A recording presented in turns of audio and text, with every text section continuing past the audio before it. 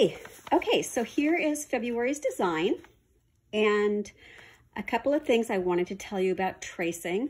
What I like to do is take the pattern that's in reverse that I send you and print it out directly onto the paper side of freezer paper. There's a shiny side, that's the waxy side, and then the paper side. And then I iron that to the back of my fabric. And that way when I trace my design, the fabric and the pattern stay together, they don't wiggle around, and it stabilizes the fabric and it makes it much easier to trace. If you don't want to use freezer paper, you totally don't have to. You can just use a light box or a window and tape down the design and then tape your fabric on top of that. So I went ahead and stitched this one out with a Valdani. And now I'm going to stitch it again because I wanted to go over some of the stitches with you. And so I thought this version, I'm going to switch up a little bit. So I'll show you what I did. I traced it using the Pilot FriXion Pen, which is the thing I love to, to trace with because it will disappear with the heat of an iron. And then I just got a little fun. So I used some different uh, color pencils. These are just ones you buy at, at uh, Michael's or anywhere. And, you, know, pick out what colors really appeal to you. These, um, I'll, these numbers here are on the pattern. So, or in the email that I sent you. So if you do want to use the same colors, there you go. So what I did is I left the freezer paper on the back because now it's much easier to draw on. The fabric doesn't wiggle around.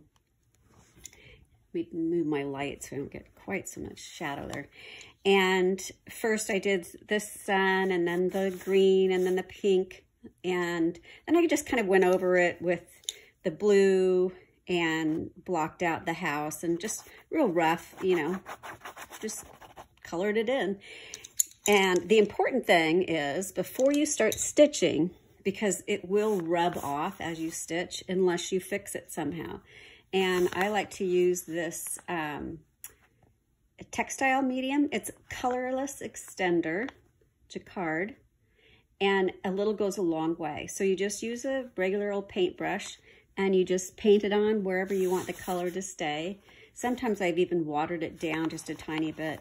I was afraid it would make it real stiff um, using it straight, but I use it straight this time, and it really isn't that stiff. I think it's going to be okay. So now I can peel that off, and I'm ready to stitch. So the fun part next was picking out the threads. So I went ahead and used some Cosmo threads just because I have a, a nice sampling of different threads to choose from. And these are the threads that I came up with that I'm going to use. And these were also listed on the email. So if you have any questions on the colors, that's where they are. Okay, so there's just a few little stitches I want to show you and uh, just to kind of help you on your way. All right. I'll get ready and I'll get back to you in a second. So the first thread I'm going to start with is the green and I've decided to do all of the um, stems and stuff and leaves in this green. And wherever there's a solid line, that's a stem stitch. So what you want to do is start at the end or the edge or corner, never start in the middle. So I'm going to take an eighth of an inch away and come back up halfway between, so about 16th inch. I'm going to carry my thread on this side because it's a curved line going this way and I want to carry my thread on the same direction as the curve. Okay, the next stitch is just going to be an eighth of an inch and I'm coming back up in that same hole that I just went down in. And you just keep repeating that.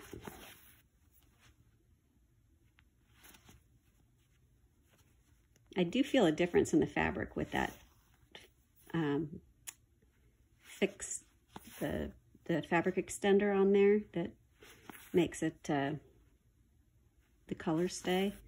Not too bad, but you can definitely feel a little bit of a difference. It's not quite as smooth as the Moda fabric usually is. But it's still really easy to stitch through and it's worth it if I can have some color on there because I think that's kind of fun. Okay, I'll do a little more of this and then we'll move on to a stitch, to a different stitch.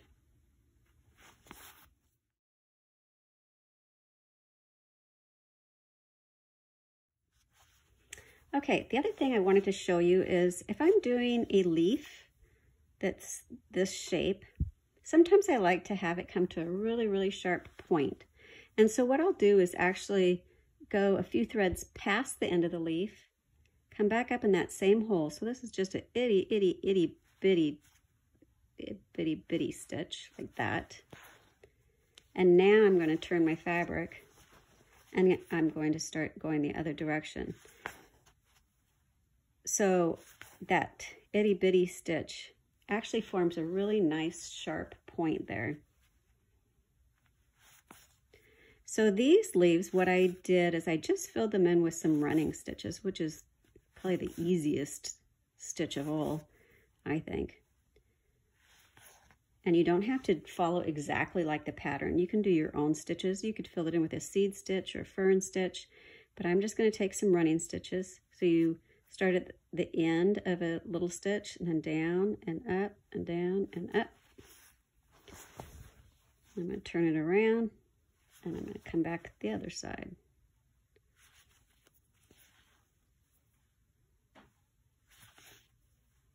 And that just gives them a little bit of texture. Now, since this isn't much of a jump from there to this leaf, I'm going to go ahead and make that little jump. I could turn it over and thread my needle under some of those stitches, but I'm not going to. but feel free to do that. That's probably a more appropriate way to do it. Okay, I will continue on.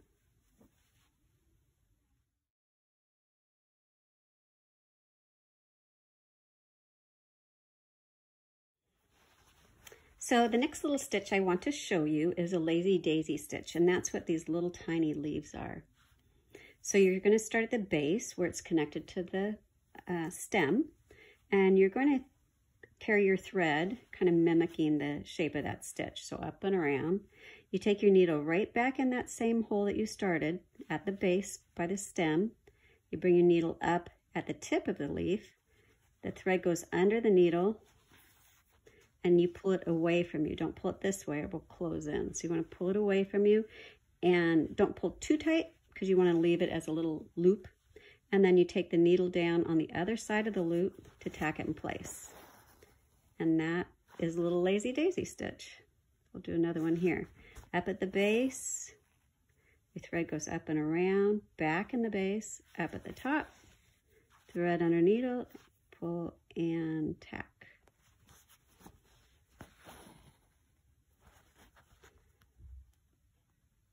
I'll do another one.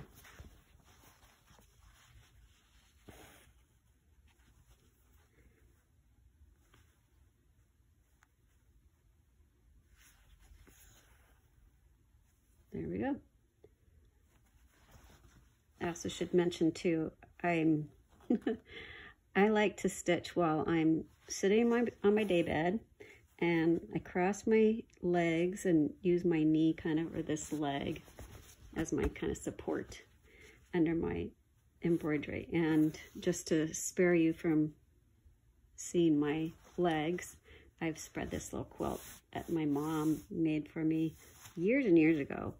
Hand quilted, isn't that cute? So it's just a nice little throw quilt. So I thought, well, that looks a lot better than my legs. so, okay, and this is the last one here.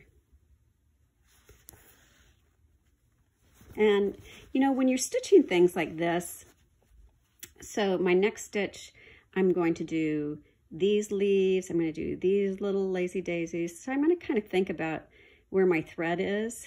And if I start here and go out here, then when I'm finished, my thread's going to be quite a ways from these. This is just something I think about. So, you know, I might go ahead and just skip down and do this little guy and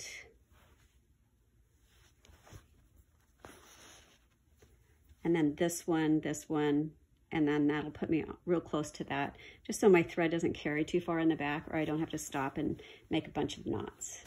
So,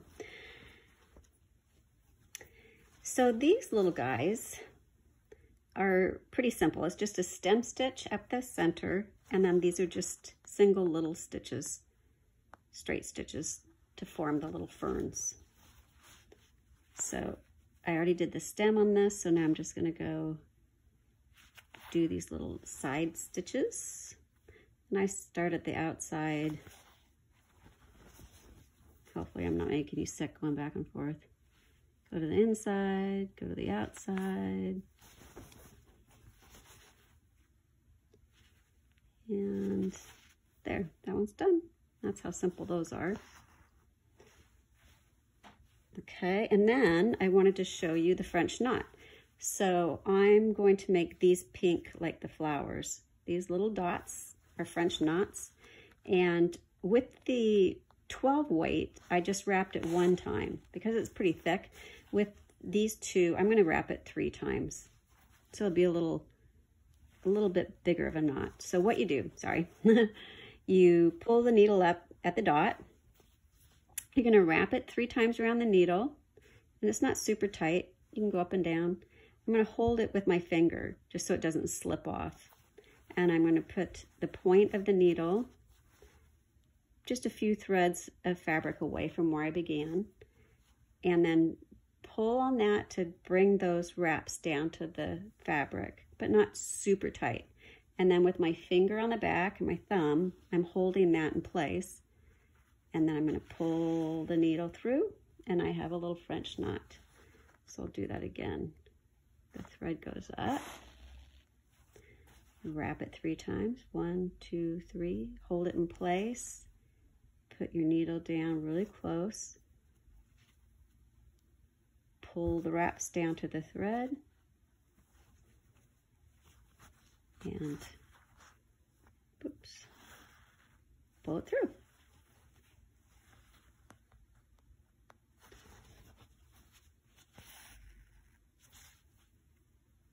So once you feel comfortable with that, you can actually bring the needle up at the next one and then pull those wraps down, hold it in place, pull the needle up that way. Now you're ready to go for the next stitch.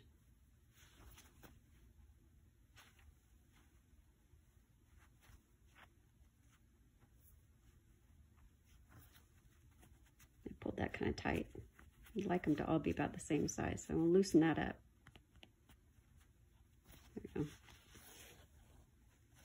Oh, he got a little wonky. That's all right. It's a flower. They're all a little bit different, right? Nothing's perfect in nature.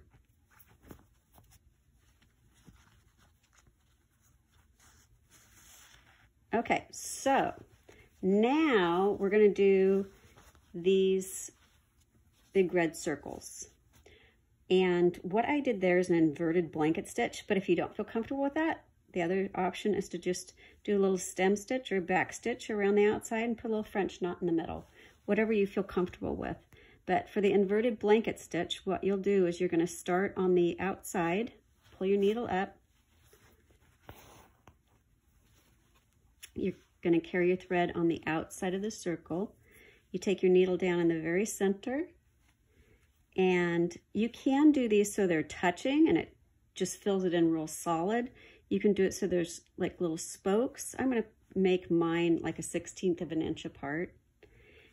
The thread's going to go under the needle and I'm going to pull it away from the center. I don't want, if I pull it this way, then that's going to fall in. So I want to pull it away.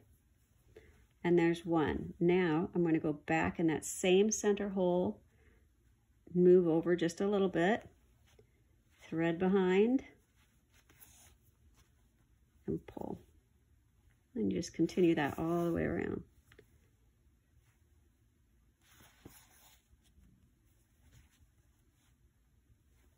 You don't want to pull it too tight or it'll kind of pucker because it's kind of a big stitch.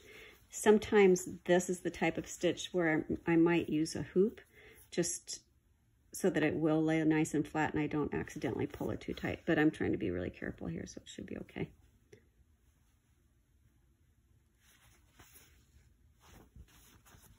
You just keep turning your fabric.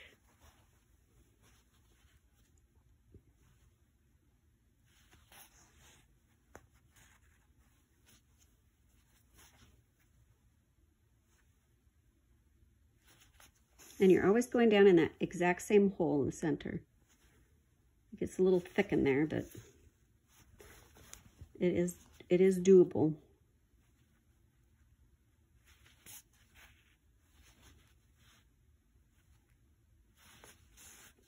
Oops. Yeah, that's kind of a big jump between, but I'm going to do it anyway. There we go. And then at the end, you're just going to put your needle on the other side of that loop and kind of tack it in place. That will hold it there. There, so now we have our little French knot flowers and our circle flowers and some of the leaves done. So we'll continue on and then I've got a really cute way of doing these bees that's really simple. So I'll show you that next.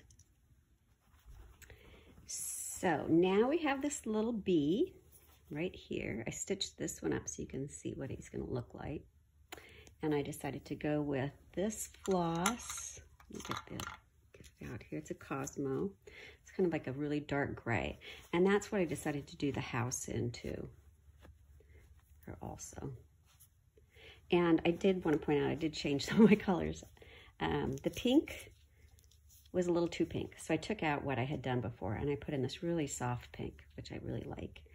And I think I switched out which orange that I was going to use too. But so these are the colors I'll put on or that are on the email that you got. Okay, so to make this little bee, it's actually super easy. So it's a series of fly stitches, which is kind of ironic because it's a bee, and then these running stitches. And these running stitches are also what the roof line is made out of too. So what you're going to do is start in the middle of the bee's body. All right there. I'm going to carry the thread up so it's going to kind of follow his body up around the top. I'm going to go on the other side of the bee and then bring my needle up at his head. The thread's going to go under the needle and that is called a fly stitch. There we go. Oh, my thread's a little off again. I should make sure that's right before I start showing you. There we go. Now, instead of on a normal fly stitch, what you do is you'd bring the needle down right on the other side and tack it in place. But I'm going to go ahead and just put my needle down up here and form one of the antenna. Antennae, whatever it is. And then come back and do the other one. And go down inside of the loop. So now we have the top part of his body and his antenna done. Now I can do the bottom part of his body. Oops, I'm gonna turn my, and so we're gonna come up in the same place where we had started. And now I'm gonna do the bottom of the bee. So back over to the other side, down to the bottom. And now I'm going to, instead of coming down right on the other side, I'm going to go out just a little bit and that will be the stinger. And now I can continue on with the running stitch, which is just up, down, just like we did inside the leaf, the leaves. Up, down, up, down. One more. Now, I want to come back up here to do the wings. So what I am going to do is turn it over and thread my needle under some of those stitches just so that it doesn't get snagged up on anything and it'll look a little bit nicer. Okay, now we're to do the wings, and the wings are exactly the same way. So let's see, we'll start here in the middle of the body. Go to the other side of the wing, come to the tip of the wing. The thread's to go under the needle. Now this time we will put the needle down right on the outside of that loop. And then I'm to come up for the other wing.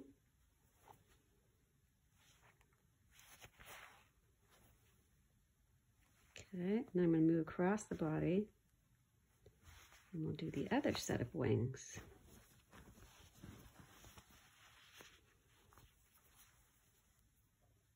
Isn't that easy? And then once we get the wings done, the last thing that we need to do is to make the stripes. And that's done with just a few satin stitches.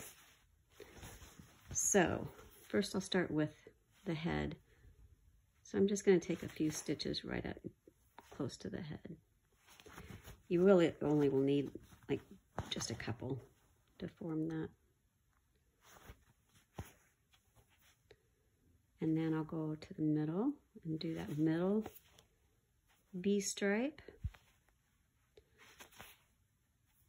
Do one on that side, one on this side. Oops, I caught that. And then I'm going to pop down and do that last stripe at his rear end.